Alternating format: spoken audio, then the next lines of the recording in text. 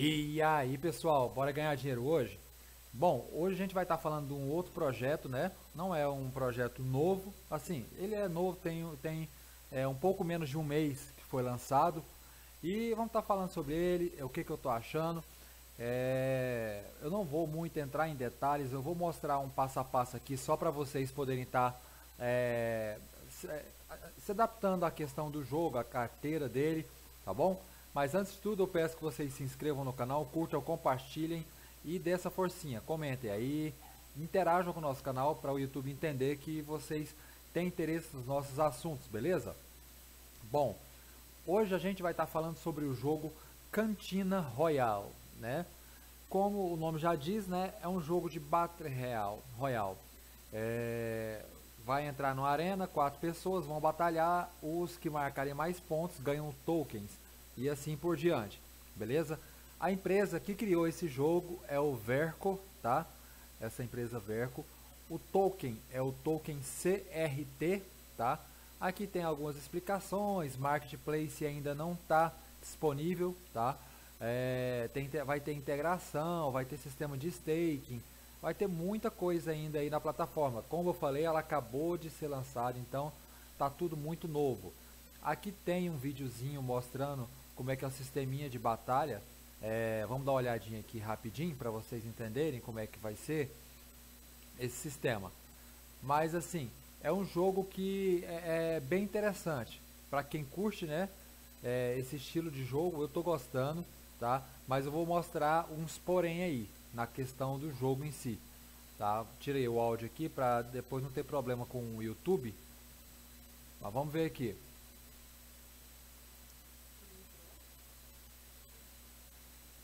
Tá, tá lagando um pouco por causa do programa que eu uso para gravar, mas ali você vai ser um personagem, vai batalhar com outras três pessoas e o último a sobreviver, quem matar 10 personagens primeiro é o ganhador, tá? A batalha acaba quando se é, é, morrer 10 pessoas, é, quem matar mais gente. É um macaquinho, né? É bem interessante a, a, o detalhe dos personagens dos NFTs. Mas tá bom, vamos pular o vídeo aqui, vamos o que interessa, né? Primeira coisa, antes de você criar a conta no jogo, é, você vai ter que criar uma carteira, um wallet, porque eles rodam numa outra rede diferente. Então eu vou deixar na descrição o link da carteira para vocês entenderem é, como é que funciona. A carteira ela é a Ellow, Elrond, tá? Wallet, Elrond Wallet. É uma carteira diferente, realmente vocês é, vão criar ela, como eu falei, vou deixar o link. Quando vocês criam a carteira, vai ter as 24 palavras passe, são muitas palavras passe, e ela vai criar um arquivo de key de abertura. É como se fosse uma, um, uma carteira física, uma ledger, tá? Então, todas as vezes que você for logar na carteira, você vai ter que informar essa key.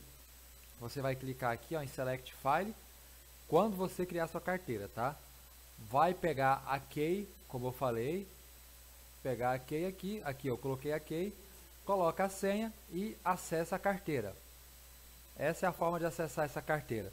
Então, o que, que acontece? É, primeira coisa é criar essa carteira. Aqui nessa carteira é onde vai ser armazenados tokens que vocês têm, tá? Então, é, outra coisa, esse token aqui, ó, EGLD, vocês vão ter que ter esse token para poder estar tá pagando gás.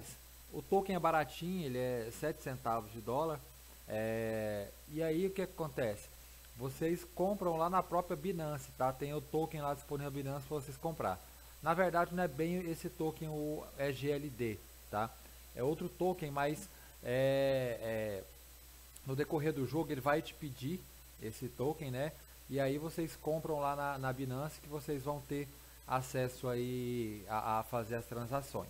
Como eu falei, o token ele é bem barato, ele é bem de boa. Aí tem transações, tem onde você recebe, onde você solicita saque. Então tem várias formas aqui. Tem a opção de stake. Depois que você criou a sua carteira, aqui no site da Verco você vai clicar em app, né? E é onde você vai cadastrar a sua conta. Eu indico vocês a cadastrarem a conta do Google. Por quê? Porque ela é melhor para vocês logarem lá dentro da plataforma do jogo. Cadastrou, ele vai abrir essa primeira tela aqui, ó. Essa tela é onde você vai é, tá informando, a, colocando alguns dados seu. Primeira coisa, colocando a carteira que você criou aqui no Elron Wallet. Lembra da carteira que eu tinha falado? Então vocês vão inserir essa carteira lá no site. Como é que você vai fazer? Você vai vir aqui nessa tela, né? Depois que já fez o cadastro, aqui eu já fiz o cadastro, vai vir aqui ó, nessa manivela, vai clicar nela, aqui já está linkada a minha carteira, vai ter opção aqui para linkar. Você vai clicar, vai escolher aquele arquivo de token que eu mostrei para vocês, que é salvo quando você cria a carteira. Quando você fizer isso e confirmar, ela vai ficar linkada. O que quer dizer que todo o seu histórico de itens é, vai cair naquela carteira e o jogo vai ter acesso a isso aqui. Então, aqui, ó, quer ver? Deixa eu achar. Aqui vai mostrar quantos tokens CRT você tem para fazer conversão, tá? Qual que é a taxa de conversão? É de 100 itens para um token. Então, a cada 100 itens você ganha um token.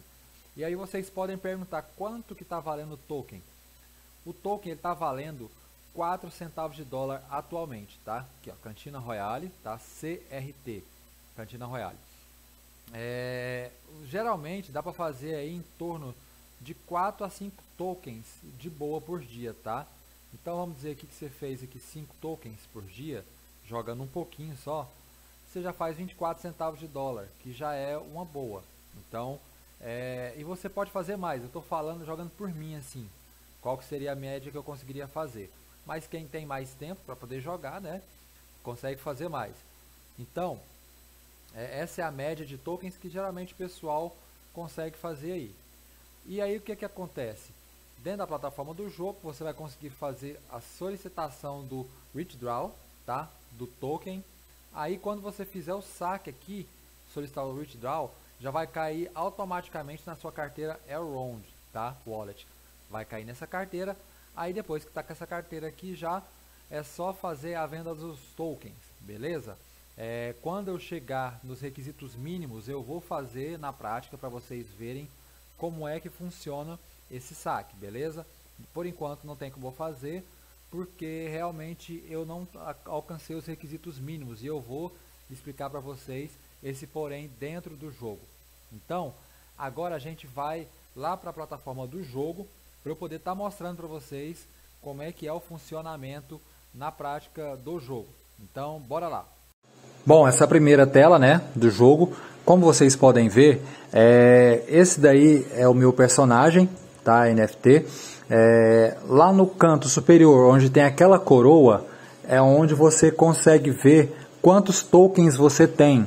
Então lá você consegue é, saber que é, a cada 100 tokens daquela coroa você consegue converter para um token CRT. Esse é o personagem, tá? ele não é um NFT, então assim ele não consegue farmar é, os tokens para você.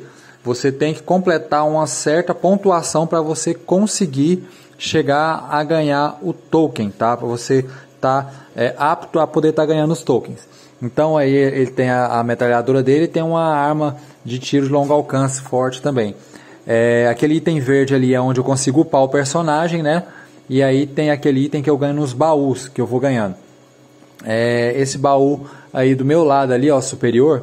E aqui é onde você consegue ver, lá no topo onde está 32, você consegue ver o que?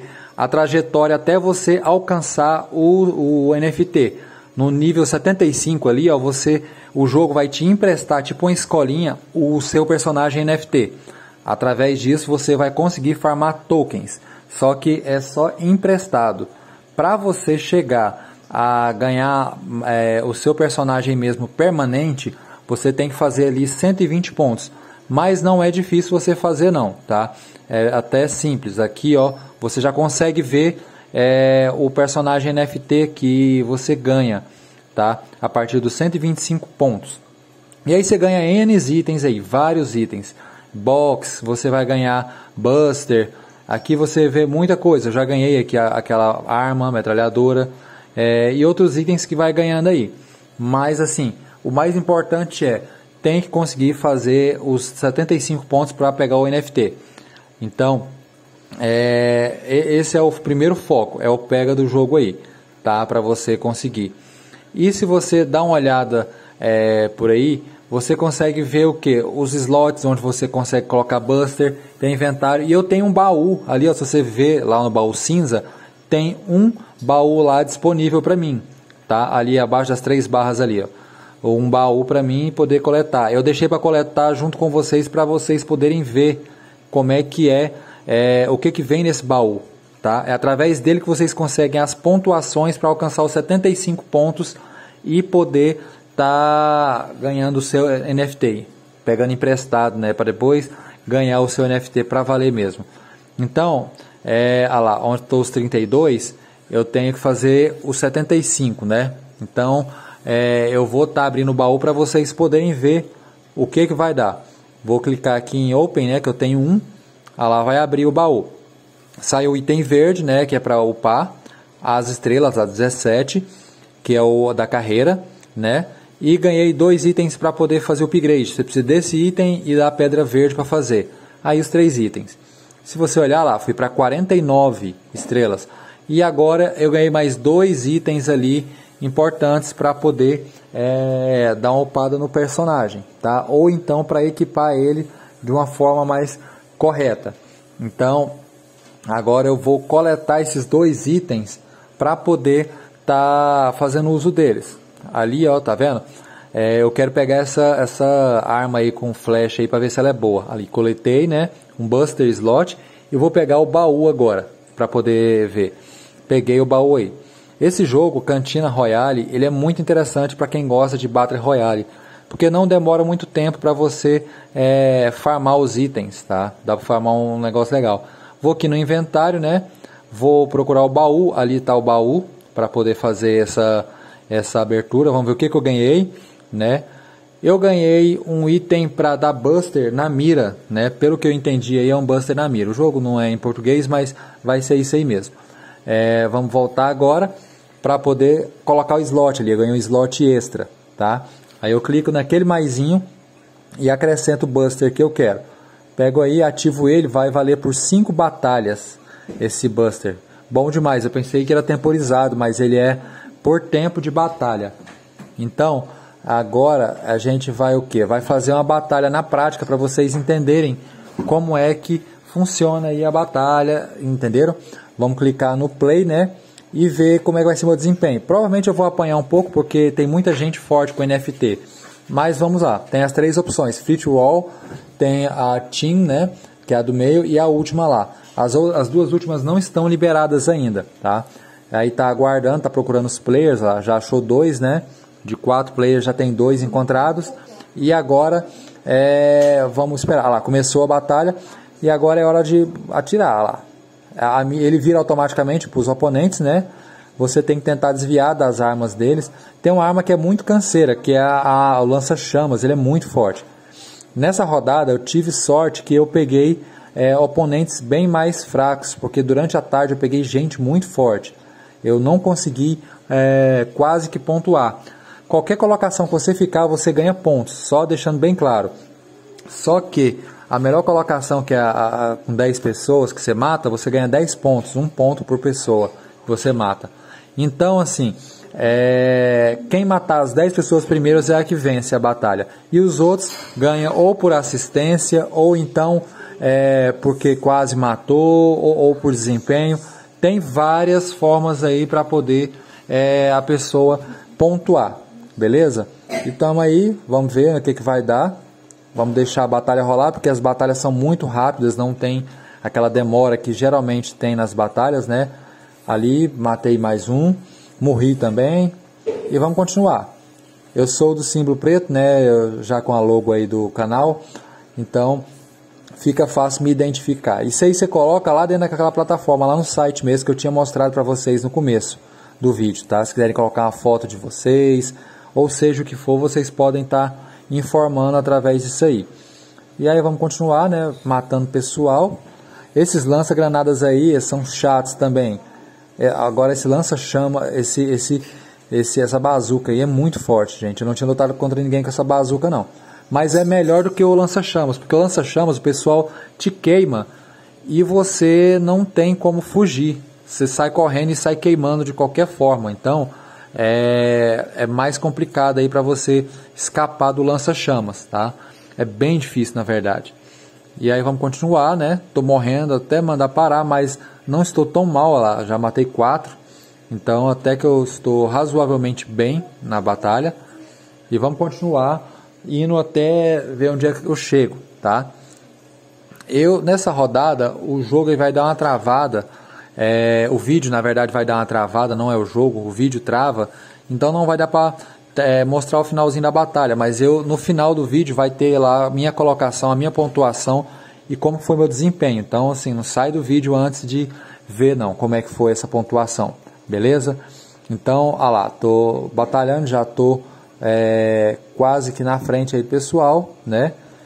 Não tá assim tão difícil como eu falei, tem horários certos, horários que é mais difícil a energia carrega uma energia a cada uma hora e meia, só deixando bem claro, tá? E aí vamos lá. Bom, voltando aí, é, o vídeo tinha travado, né? Como eu falei. É, só relembrando, a cada uma hora e meia você carrega um de energia. Então por dia você consegue fazer 20 batalhas. E você pode ganhar no baú é, a, o pacote que aumenta essas energias para você. Nesse baú aí, ó, pode sair o pacote aí que você vai ganhar mais rodadas para fazer durante o dia, que aí quer dizer que você vai ganhar mais tokens. Então, gente, é, a, o foco aí é chegar o mais rápido possível aos 75. Eu acho que amanhã já vou estar. Vou estar tá farmando, vou estar tá mostrando como é que saca, como que é, você consegue é, fazer a conversão na corretora certinho. Eu vou estar tá mostrando bem o passo a passo para vocês entenderem. E o foco é esse, é chegar pelo menos aos 125, né? No mínimo, para pegar o seu primeiro NFT permanentemente, porque como eu falei, o outro é emprestado, o ganho dele é um pouco reduzido em tokens, tá? E aí tá meu personagem, não vou upar ele porque ele é o meu mais fraco. Aí é, eu vou deixar esse personagem só nesse nível 3 mesmo, só para poder ser competitivo. Ali ó, com 75 eu já consigo é, liberar o, o, a escolinha do personagem, tá? É, quer ver? E aí, o que, que acontece? Através disso aí, você já vai ter o ganho de token. Esse baú vermelho ele vem itens muito bons, tá? Muito bons. Você consegue liberar o baú vermelho e o cinza. É, geralmente o, o, vermelho só consegue ganhar esse item por vermelho com NFT, tá? Sem NFT você não consegue. Então, é, tem muitas vantagens você ter o NFT. Se for você comprar um NFT desse no mercado, e em alguns mercados você já consegue comprar, é muito caro. Então, assim, o ideal é, é ir de forma free mesmo e ganhando no jogo. É o, o, melhor. Então, assim, eu espero. Aí tem os outros personagens, né? Tem mais três personagens além do próximo NFT. Espero que tenham gostado do vídeo. Espere até o final aí para poder ver o print aí da, do meu resultado aí, do meu desempenho no jogo, tá? E obrigado a todos aí pela força. É, bora ganhar dinheiro, né? Porque é a melhor coisa que tem. E foca aí no jogo, depois vão me falando que que tá, como é que tá sendo, tá? É o desempenho de vocês aí no jogo. Aí está, né, é, a minha colocação, eu é, ganhei, eu tinha um poder de 220, eu era até o mais fraco de lá, mas eu consegui ainda fazer uma pontuação maior que todo mundo ali, ó, tá vendo? Então, foi até legal. E ganhei 10 itens para poder é, conseguir abrir outro baú. Então, obrigado a todos, pessoal. E até a próxima. Tchau.